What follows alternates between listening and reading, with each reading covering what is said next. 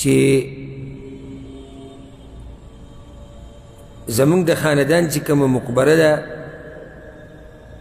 په هغه ځي باندې حکومت روډ راوستو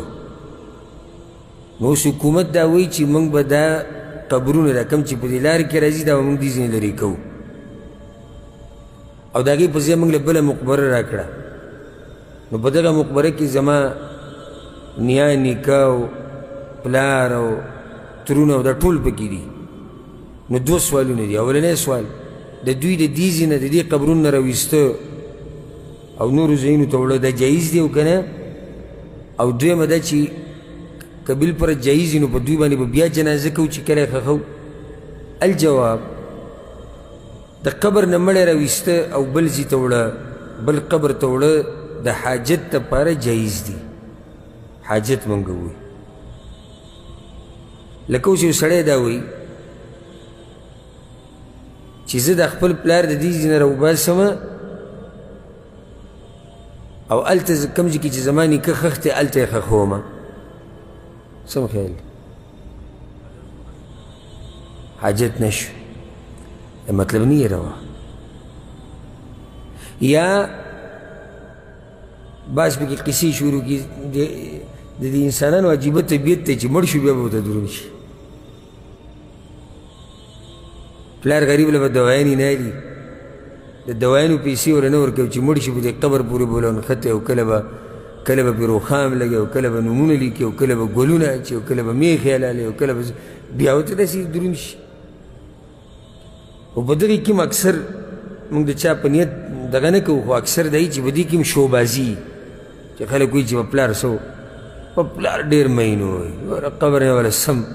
بلډینګ ته وکوي ها چې حاجت یې بیا صحیح دی امام بخاری رحم الله په خپل کتاب کې باب راوړی دی باب باب په بیان د دې مسله کې چې آیا مړی د قبر نه د ضرورت لپاره ویستی شي او که نه او بیا پکې د جابر رضی الله عنه روایت راوړی الله اکبر د الله شکر دی چې د سلفیت او د قرآن او حدیث ته منهج یې موږ ته نصیب کړی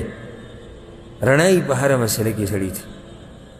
امام بخاري دا روایت راوړی دی جابر رضی الله عنه وایي وی لما حضر احد دعانی ابي من الليل کله چې د احد دا غزا وه سهر له د احد غزا و د شپې زه پلار راوغوښتم او په هغه کې د عمر کم او دې دقه یو زوی و د د عبدالله رضی الله عنه جابر بن عبدالله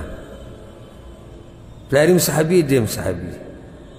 نور ټول د هغه لوڼه وي وی کله چې سحر شو پلار نه د شپې زره وختم د سحر نه مخکې وی ما ته وی چې ما ارانی الا مقتولا في اول من يقتل من اصحاب النبي صلى الله عليه وسلم ما ته داسې ښکاري چې سبا د کافران او مسلمانان یو بل له ورشي نو ما ته داسې ښکاري چې زه به په دې اولنو کسانو کې مرم او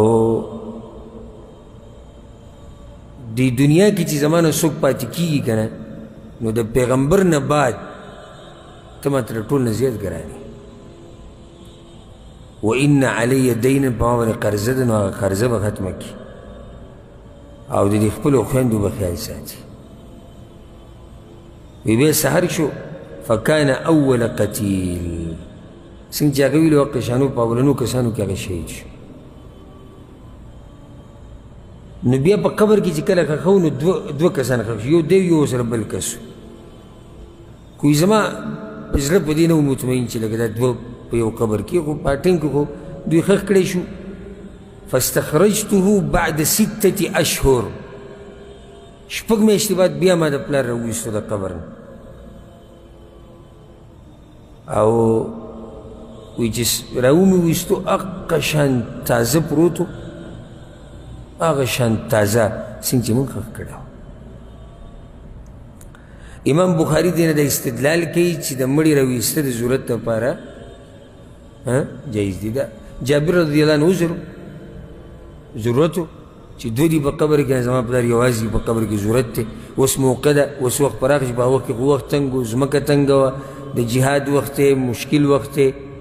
اوس وخت شتي خپل پلار یې جدا کړه امام ابن المبارک رحمه الله دا روایت راوړی جابر بن عبدالله نه وی معاویه رضی الله عنه یو پیر اراده وکړه چې د سکو د اوبو د سکو دپاره ځایونه جوړ کړي کظامه ورته وایي په عربۍ کې یا کظامه دا داسې چې کویان جوړ کړي نږدې نږدې بیا د یو کوی نه بل طرف ته داسې لار بوځي را بل نه بل طرف ته لار بوځي دا سیستم معاویه رضی الله عنه جوړو نو هغه دا وایي چې من کان له قتیل فلیأتي قتیله